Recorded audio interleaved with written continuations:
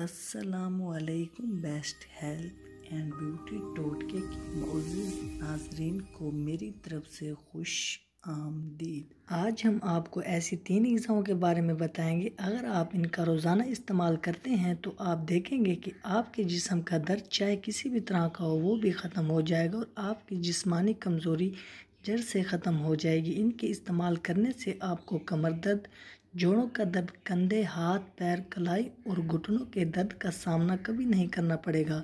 ये मसाइल बहुत ज़्यादा जिस्मानी काम करने या ज़्यादा देर बैठने की वजह से हो सकते हैं, लेकिन आपको परेशान होने की बिल्कुल ज़रूरत नहीं क्योंकि आज की वीडियो में हम आपको इन सभी मसाइल का एक बहुत ही ज़बरदस्त और लाजवाब इलाज बताएँगे। आप हमारे बताए हुए नुस्खे का इस्तेमाल करके अपने सभी मसाइल से हमेशा हमेशा के लिए छुटकारा पा सकते हैं। इसका रिज़ल्ट आपको एक हफ़्ते तक मिल जाएगा, लेकिन दो महीने के इस्तेमाल से आपको और भी बहुत सारे फ़वाद देखने को मिलेंगे। और अगर आप ऐसा करते हैं तो आपको पूरी ज़िंदगी कभी भी किसी तरह के दर्द का सामना नहीं करना पड़ेगा और आपका जिसम भी ताकतवर बन जाएगा और कैल्शियम की कमी भी बहुत जल्द पूरी हो जाएगी।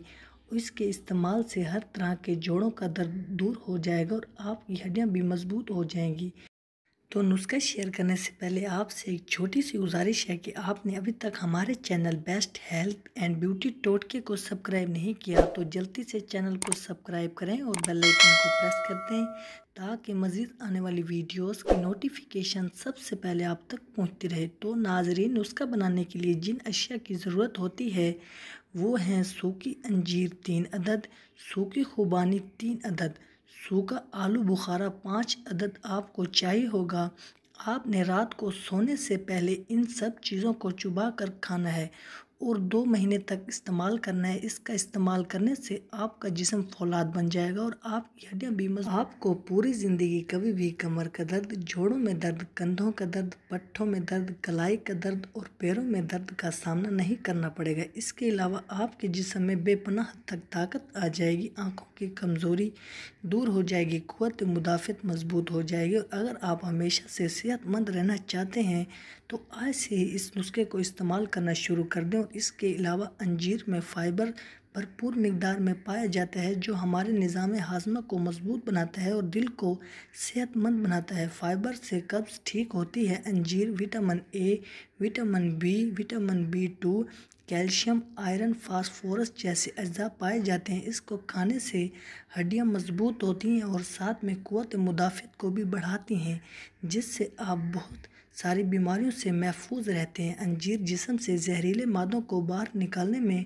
मदद देती है। वानी में एंटीऑक्सीडेंट, पोटाशियम और डाइटरी फाइबर भरपूर मकदार में पाया जाता है। इसमें पाए जाने वाले एंटीऑक्सीडेंट क़वत मुदाफ़त को बढ़ाते हैं और आँखों के लिए बहुत फ़ायदेमंद होते हैं।